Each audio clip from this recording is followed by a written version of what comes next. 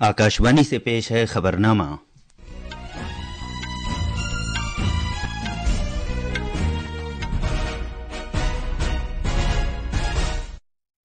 आदाब, खबरनामे के साथ मैं कलीम अहमद। पहले इस वक्त की खास खास खबरें। वज़ीर आज़म नरेंद्र मोदी ने अमरीका के नवमुंतखब सदर डोनाल्ड ट्रंप से बात की और उन्हें उनकी शानदार जीत पर मुबारकबाद दी। उन्होंने कहा कि वो एक मरतबा फिर एक साथ मिलकर काम करने के मुंतजर हैं। मरकजी वज़ीर दाखिला अमित शाह ने कहा है कि मोदी सरकार दहशत गर्दी को बिल्कुल भी बर्दाश्त न करने की अपनी पॉलिसी के साथ दहशत गर्दी से पाक भारत तामीर करने के लिए पुरज्म है। हुकूमत ने कहा है कि सैटेलाइट कम्युनिकेशन सैटकॉम जमीनी बुनियाद पर मोबाइल नेटवर्क का मुकाबला नहीं करेगा बल्कि इसकी तकमील करेगा। सदर जमहूरिया द्रौपदी मुर्मू आज गोवा में डे एट सी प्रोग्राम में शिरकत करेंगी। भारतीय रेलवेज ने गुदिश्ता 36 दिनों के दौरान 4,521 खसूसी ट्रेनें चलाकर पैंसठ लाख मुसाफिरों के सफ़र में सहूलत फराहम की है। और इस साल गोवा में 20 से 24 नवंबर के दौरान मुनद होने वाले भारत के बैन अवी फ़िल्म फेस्टिवल में फ़िल्म बाज़ार के 18वें एडिशन में 208 फ़िल्में दिखाई जाएँगी। अब खबरें तफसील से।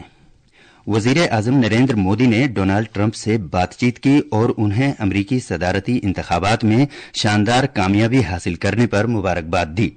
एक सोशल मीडिया पोस्ट में जनाब मोदी ने कहा कि वो टेक्नोलॉजी, दिफा, तवानाई, खला और मुतद दीगर शोबों में भारत और अमरीका के ताल्लुक को मजीद मुस्तहकम करने के लिए एक बार फिर मिलकर काम करने के मुंतजर हैं। वज़ीर आज़म मोदी ने कांग्रेस के इंतबात में रिपब्लिकन पार्टी की शानदार कारकर्दगी पर सदर ट्रंप को मुबारकबाद दी। जराये के मुताबिक दोनों रहनुमाओं ने आलमी अमन के लिए मिलकर काम करने पर इतफाक किया। बातचीत के दौरान जनाब ट्रंप ने कहा कि पूरी दुनिया जनाब मोदी से मोहब्बत करती है। भारत को एक शानदार मुल्क करार देते हुए जनाब ट्रंप ने वज़ीर आज़म मोदी को एक शानदार इंसान करार दिया। डोनाल्ड ट्रंप ने कहा कि वो जनाब मोदी और भारत को सच्चा दोस्त समझते हैं। उन्होंने कहा कि वज़ीर आज़म मोदी उन अव्वलीन रहनुमाओं में से एक हैं जिनसे उन्होंने अपनी जीत के बाद बात की है। सरकार ने Food Corporation of India, FCI के लिए दस हज़ार सात सौ करोड़ रुपए ताज़ा इक्विटी यानी हेसस फराहम करने की मंजूरी दी है। मीडिया को जानकारी फराहम करते हुए इतलात नशरियात के वज़ीर अश्विनी वैष्णव ने कहा कि एफसीआई खुराक के हसूल में एक अहम रोल अदा करता है और इसलिए इसे मजीद मुस्तहकम करने का फैसला किया गया है। सरकार ने होनहार और बासलाहियत तलबा को माली मदद फराहम करने की गरज से पीएम विद्या लक्ष्मी स्कीम को भी कल मंजूरी दी। स्कीम के मुताबिक साढ़े सात लाख रुपए तक के कर्जे के लिए पिछहत्तर फ़ीसद गारंटी सरकार की तरफ़ से फराहम की जाएगी ताकि बैंक इसमें तोसी कर सके। दस लाख रुपए तक के कर्ज के लिए शरह सूद में तीन फ़ीसद की माली मदद उन तलबा को फराहम की जाएगी जिनके कुंबे की सालाना आमदनी आठ लाख रुपए तक है। वज़ीर अजम नरेंद्र मोदी ने Food Corporation of India FCI के लिए दस हज़ार सात सौ करोड़ रुपये की ताज़ा इक्विटी फ्राहम करने का, के काबीना के फैसले की सताइश की है। एक सोशल मीडिया पोस्ट में जनाब मोदी ने कहा कि इस सरमाकारी से खुराक की खरीदारी और मुनासिब तौर पर इसकी तकसीम की एफसीआई की सलाहियत में इजाफा होगा। उन्होंने मजीद कहा कि इससे किसानों के लिए बेहतर माली मदद को यकीनी बनाया जा सकेगा और ये कौमी सतह पर खुराक की यकीनी फराहमी में ताउन फराहम करेगा। वज़ीर अजम ने मैारी तालीम के लिए नौजवानों को मदद फराहम करने के लिए पीएम विद्या लक्ष्मी स्कीम की मंजूरी की भी तारीफ़ की। उन्होंने कहा कि ये स्कीम युवा शक्ति को बाख्तियार बनाने और हमारे मुल्क के लिए एक रोशन मुस्तबिल तामीर करने की जानब एक अहम कदम है। मरकजी वज़ीर दाखिला अमित शाह ने कहा है कि मोदी सरकार दहशत गर्दी को बिल्कुल भी बर्दाश्त न करने की पॉलिसी के साथ दहशत गर्दी से पाक भारत की तामीर के लिए पुरज्म है। एक सोशल मीडिया पोस्ट में जनाब शाह ने कहा कि आज नई दिल्ली में शुरू होने वाली दो रोजा इंसदाद दहशतगर्दी कॉन्फ्रेंस मुल्क की सलामती को मज़बूत बनाने के लिए एजेंसियों के दरमियान तालमेल में मजीद इजाफा करेगी। वज़ीर दाखिला इस कॉन्फ्रेंस से खिताब करेंगे। कॉन्फ्रेंस का इनकाद कौमी जाँच एजेंसी एनआईए के ज़रिए किया जा रहा है। कॉन्फ्रेंस में मुकम्मल हुकूमत के मुतहदा और मजमू तरीक़ेकार के ज़रिए दहशत गर्दी से निमटने के लिए मुख्तलिफ़ शराकतदारों के दरमियान हम आहंगी को फरोग देने पर कलीदी तवज्जो मरकूज रहेगी। ये कॉन्फ्रेंस पुलिस के सीनियर अफसरान, मरकजी एजेंसियों के ऑफिसरों, कानून, फोरेंसिक और टेक्नोलॉजी के माहरीन को इकट्ठा करेगी ताकि इंसदाद दहशतगर्दी के लिए कानून फ्रेमवर्क मुकदमा चलाने के चैलेंजेस और उभरती हुई टेक्नोलॉजीज़ के किरदार जैसे अहम उमूर पर तबादला ख्याल किया जा सके। मवासिलात के वज़ीर ममलिकत चंद्रशेखर पेमासनी ने कहा कि सैटेलाइट कम्युनिकेशन सैटकॉम का ज़मीन पर मौजूद मोबाइल नेटवर्क से मुकाबला नहीं होगा, बल्कि इससे उनकी तकमील होगी। नई दिल्ली में तीसरे भारतीय खलाई कॉन्क्लेव से खिताब करते हुए वज़ीर मौसूफ ने कहा कि सैटकॉम को बड़े पैमाने पर कनेक्टिविटी के हसूल के लिए फाइव और सिक्स जैसी ज़मीन पर मौजूद नेटवर्क टेक्नोलॉजीज़ की तकमील के तौर पर देखा जाना चाहिए। जनाब पेमासनी ने कहा कि 5G और आने वाला 6G नेटवर्क सैटकॉम के साथ मिलकर ज़मीन और आसमान दोनों को मज़बूत कर सकते हैं। सदर जमहूरिया द्रौपदी मुर्मू आज गोवा का दौरा करेंगी। वो डे एट सी प्रोग्राम में शिरकत करेंगी। ये प्रोग्राम भारतीय बहरिया के जहाज़ आईएनएस विक्रांत से फ्लाइंग ऑपरेशन की झलकियाँ समेत भारतीय बहरिया के जंगजू तैयारों के कामकाज की सलाहियतों को उजागर करेगा। महाराष्ट्र में असेंबली इंतबात के लिए मुहिम में तेज़ी आ गई है। कांग्रेस ने असेंबली इंतबात के लिए अपने मंशूर में पाँच गारंटियों का ऐलान किया है। कांग्रेस के रहनुमा राहुल गांधी ने उन गारंटियों का ऐलान किया, जिनमें खवतान को माहाना तीन हज़ार रुपये खवतान और लड़कियों के लिए बस में मुफ़्त सफ़र, किसानों के कर्ज की मुआफी और उनके लिए तरगीबात शामिल हैं। मजीद तफसील हमारे नामा निगार से। वज़ीर आज़म और बीजेपी के सीनियर रहनुमा नरेंद्र मोदी महाराष्ट्र असेंबली इंतबात के लिए कल से चुनाव मुहिम शुरू करेंगे।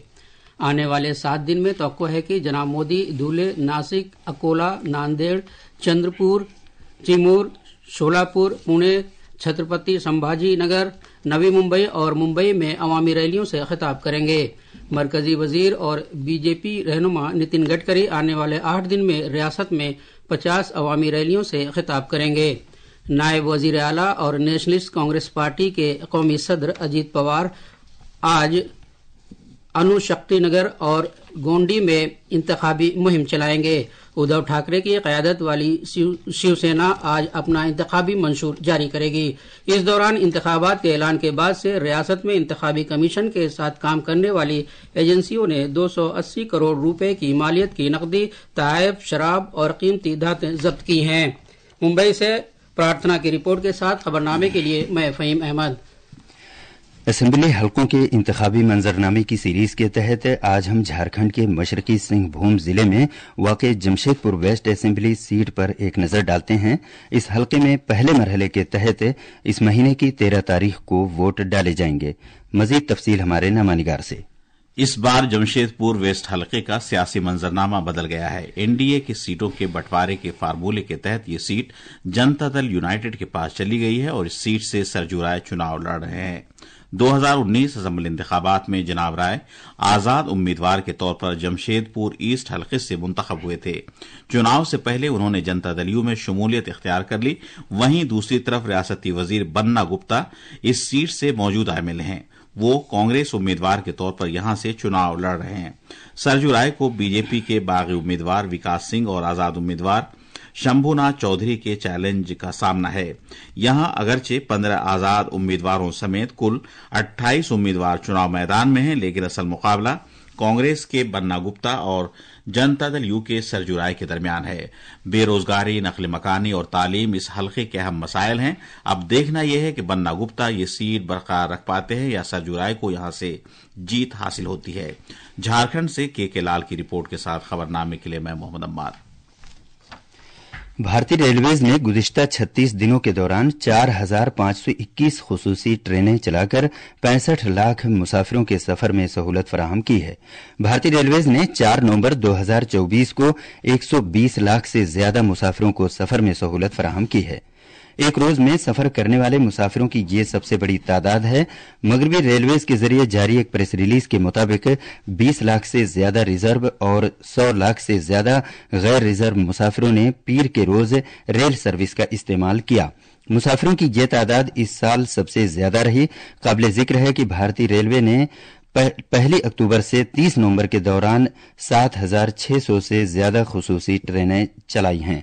त्योहारों के सीज़न के दौरान मुसाफिरों की भीड़ पर काबू पाने के लिए पिछले साल चलाई गई खसूसी ट्रेनों के मुकाबले ये तकरीबन तिहत्तर फ़ीसद ज़्यादा है। मध्य प्रदेश में तमाम सरकारी नौकरियों में खातन को अब 33 फ़ीसद की जगह 35 फ़ीसद रिजर्वेशन मिलेगा। वज़ीर अला डॉक्टर मोहन यादव की क्यादत में हुई।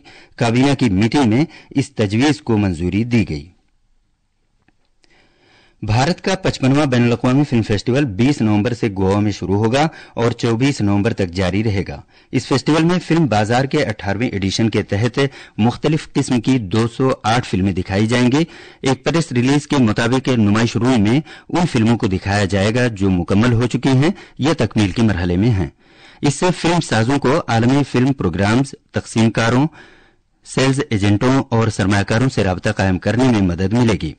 National Film Development Corporation of India, NFDC के मैनेजिंग डायरेक्टर पृथुल कुमार ने कहा कि इस इकदाम का मकसद फ़िल्मों से वाबस्ता अफराद को बाइख्तियार बनाना है, ताकि वो दुनिया के साथ अपने नजरियात का इश्तराक कर सकें। छठ पूजा की जा रही तकरीबात के तीसरे रोज आज अकीदतमंद दरियाओं के किनारे वाक़ मुख्तलिफ़ छठ घाटों पर डूबते हुए सूरज को संध्या अर्घ्य पेश करेंगे।